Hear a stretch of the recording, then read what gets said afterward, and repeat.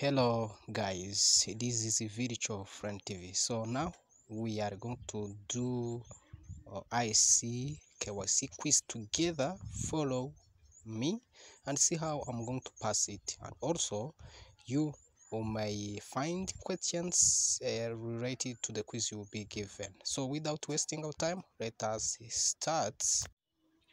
First of all, you have to know the rationale behind this quiz. You have to read it. Then you confirm terms and conditions.